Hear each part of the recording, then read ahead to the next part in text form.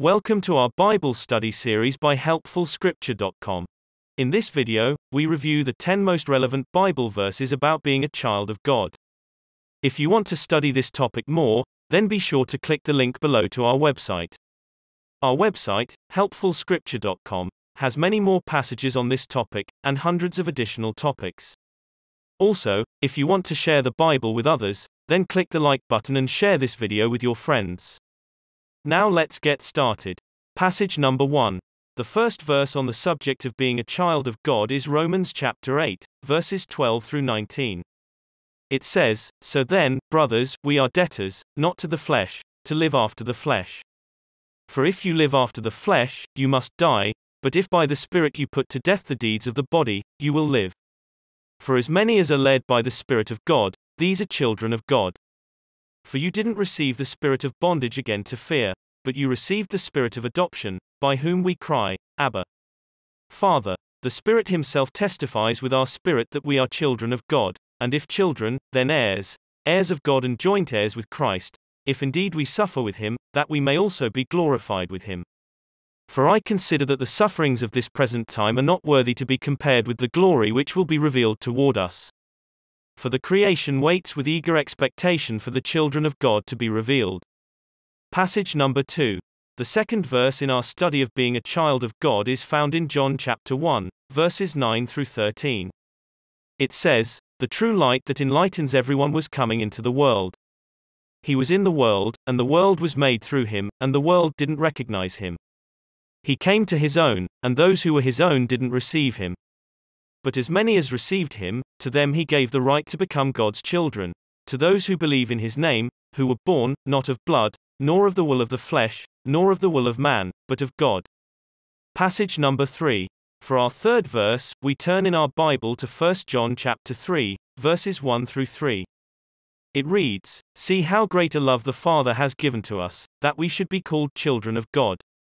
For this cause the world doesn't know us, because it didn't know him. Beloved, now we are children of God. It is not yet revealed what we will be, but we know that when he is revealed, we will be like him, for we will see him just as he is. Everyone who has this hope set on him purifies himself, even as he is pure. Passage number 4. This is from Galatians chapter 4, verses 4 through 7. The scripture says, But when the fullness of the time came, God sent out his Son, born to a woman, born under the law, that he might redeem those who were under the law, that we might receive the adoption as children. And because you are children, God sent out the Spirit of His Son into your hearts, crying, Abba, Father. So you are no longer a bondservant, but a son, and if a son, then an heir of God through Christ. Passage number 5. The fifth verse is from Galatians chapter 3, verses 26 through 29. The Bible says, For you are all children of God, through faith in Christ Jesus. For as many of you as were baptized into Christ have put on Christ. There is neither Jew nor Greek, there is neither slave nor free man, there is neither male nor female, for you are all one in Christ Jesus. If you are Christ's, then you are Abraham's offspring and heirs according to promise. Congratulations. You've made it halfway through our study. So let's pause here for a moment. I want to remind you again that if you want to study this topic more, then be sure to visit the link in the description below.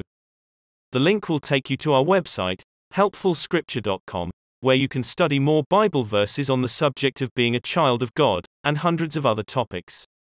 Now let's continue our study on being a child of God. Passage number 6 is from 1 John chapter 3, verses 7 through 10. It says, Little children, let no one lead you astray. He who does righteousness is righteous, even as he is righteous. He who sins is of the devil, for the devil has been sinning from the beginning. To this end the Son of God was revealed, that he might destroy the works of the devil. Whoever is born of God doesn't commit sin, because his seed remains in him, and he can't sin, because he is born of God. In this the children of God are revealed, and the children of the devil. Whoever doesn't do righteousness is not of God, neither is he who doesn't love his brother. Passage number 7. The seventh verse is found in Philippians chapter 2, verses 12 through 16. The Bible says, So then, my beloved, even as you have always obeyed, not only in my presence, but now much more in my absence, work out your own salvation with fear and trembling. For it is God who works in you both to will and to work for his good pleasure. Do all things without complaining and arguing, that you may become blameless and harmless, children of God without defect in the middle of a crooked and perverse generation, among whom you are seen as lights in the world, holding up the word of life, that I may have something to boast in the day of Christ that I didn't run in vain nor labor in vain. Passage number 8. The eighth verse on the subject of being a child of God is from 1 John chapter 5, verses 1 through 5. It reads, Whoever believes that Jesus is the Christ has been born of God. Whoever loves the Father also loves the child who is born of him. By this we know that we love the children of God, when we love God and keep his commandments. For this is loving God, that we keep his commandments. His commandments are not grievous. For whatever is born of God overcomes the world. This is the victory that has overcome the world, your faith. Who is he who overcomes the world, but he who believes that Jesus is the Son of God?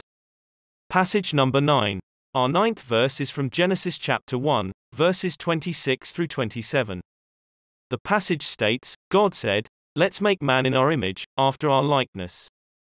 Let them have dominion over the fish of the sea, and over the birds of the sky, and over the livestock, and over all the earth, and over every creeping thing that creeps on the earth. God created man in his own image. In God's image he created him, male and female he created them. Passage number 10. Our tenth and final verse on the subject of being a child of God is from 2 Corinthians chapter 6, verses 17 through 18. It says, Therefore, come out from among them, and be separate, says the Lord. Touch no unclean thing. I will receive you. I will be to you a father. You will be to me sons and daughters, says the Lord Almighty. This concludes our Bible study on the topic of being a child of God.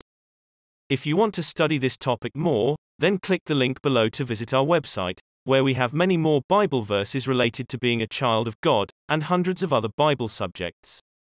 Also, remember to like the video and share it with your friends on social media, to help spread the gospel. Thanks again for listening and God bless.